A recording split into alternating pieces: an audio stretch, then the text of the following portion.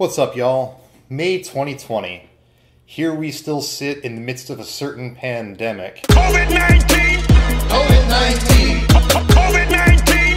COVID 19! And I wanted to discuss three movies that are pretty objectively bad, or that got lambasted by the critics or whatever, but that have such charismatic villains that the villains basically save the entire movies.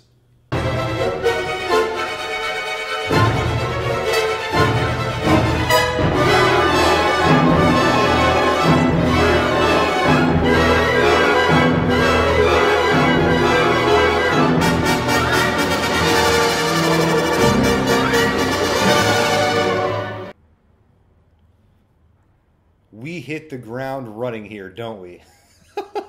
Look, I know that this movie sucks ass, okay? I know, I know. But that doesn't stop me from thoroughly enjoying watching it on occasion. If you've ever eaten in a McDonald's, then you know what I'm talking about. Now, this is the first movie on the list here, the first of several, where most of the entertainment value comes from the movie's main antagonist. Our antagonist in Street Fighter is M. Bison, played by the ever charismatic Raul Julia. Oh, Raul Julia. For I beheld Satan, and he fell from heaven like lightning! The world lost a treasure the day that you died. M. Bison also happens to be my favorite character to play Street Fighter 2 as. And yes, in case you're curious, I would stomp your ass into the ground with him. Spam Hadoukens against me all you want. Raul Julia is terrific, and he's probably the only redeeming quality about this movie. Why do I like watching it? The nostalgia fallacy. It reminds me of playing Street Fighter as a kid and of being a kid in general. I was 10 when this movie came out. Also, there's a decent level of camp. For example, the poison gas scene and the scene where DJ corrects Zangief's sideways thumbs up, and of course, Jean Claude Van Damme's captivating, riveting speech when the evil British guy comes and tells him that his operation against Bison is getting shut down. Well, I'm not going home. I'm gonna get on my boat and I'm going to kick that son of a bitch Bison's ass so hard that the next Bison wannabe is gonna feel it. And who wants to go with me? Just riveting. Riveting. Don't forget that Raul Julia was in this. I was torn between this movie and the other Norm Macdonald movie, Dirty Work, but I ultimately like watching this one better, so here it is. This movie is ranked low of 5.8 for a reason. It's retarded. One might say that the plot for this movie is completely screwed.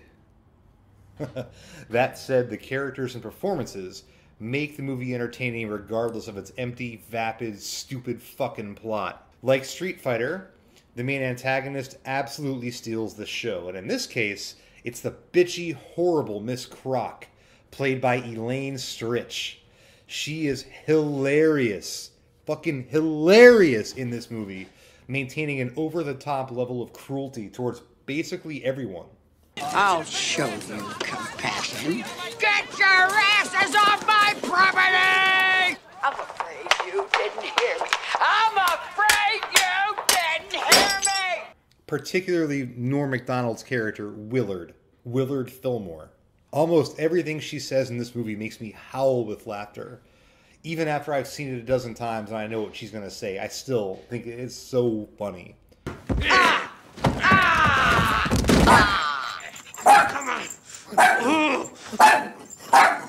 Muffin! Muffin! Attack! Muffin!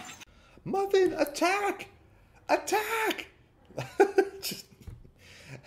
You know, as a matter of fact, all of the characters except for one really deliver here. You've got Danny DeVito, who actually admitted to doing this movie just for the paycheck. I guess he had a yacht or a rare comic book or some shit to pay off. Daniel Benzali, Dave Chappelle, for the most part, Sherman Hemsley, and even the minor characters like Mark Acheson as the pawn shop owner. Oh, he's ugly. Real ugly. And Lorena Gale is the angry mom of the kid that assaults Norm Macdonald in the park. They all just straight up kill it. It's so funny. So who's the character who didn't fit? Who's the one that I have a gripe against? Sarah Silverman is Hillary, Norm Macdonald's love interest. Sarah Silverman. Look, I don't have a problem with Sarah Silverman in general, but I really feel like they got the script finished and like most of the movie filmed when the writers were like, uh, we don't have a love interest. We don't have a young, pretty female to play a forced, completely unnecessary love interest for Norm Macdonald. We don't? That's bu bu bu bullshit. We better shoehorn one in, and it better be written, cast, and filmed in under 25 minutes. That's really how her character felt to me. She didn't need to be there. If I worked for that shouter slut, I'd tell her to get down, get busy on my man. In Waterworld, Dennis Hopper's portrayal of the Deacon is worth the watch alone. Maybe he doesn't answer the truck, call him Charles! Charles! He is so much fun. Unlike Kevin Costner's boring, fart sniffingly smug portrayal of the Mariner, what should have been a cool character and a character that I'm sure looked really great on paper. The little girl Enola, the tattoo on her back, played by the little girl from Andre, also annoys the bejesus out of me. But I'll be damned if Jeanne Tripplehorn didn't look wonderful in this movie. Oh my goodness. She kind of annoyed me too, though, sometimes. The presentation of a barren Earth as covered in water instead of as a desert or a nuclear wasteland is, in my opinion, creative and interesting. After all, water is almost always associated with bringing life, not death and desolation.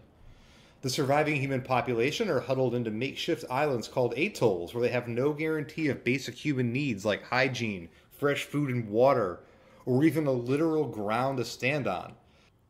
Furthermore, these poor, desperate souls are constantly tormented by pirates called smokers, who are armed to the teeth with machine guns and shit, have the ability to refine oil into fuel, have a seemingly unlimited supply of cigarettes and spam or smeat in this movie, and who I bet smell really, really bad. Waterworld suffers from the faulty premise problem. I've touched on this in Cobra Kai and a couple of other reviews. If the polar ice caps both melted, the entire Earth would not be completely flooded. Don't misunderstand me here. It'd be bad. Real, real, real, real bad. But there would still be huge tracts of land, as in most of it, still left above the surface. All of this shit said, Dennis Hopper's performance as the Deacon is enough for me to suspend my disbelief. It does look like shit. And it feels like cold shit. Deacon? Okay, that's it. Three brief reviews of three movies. I hope you enjoyed the reviews. If you agree or disagree, let me know in the comments, but don't be a dick. And I will see you next time. Stay safe, take it easy.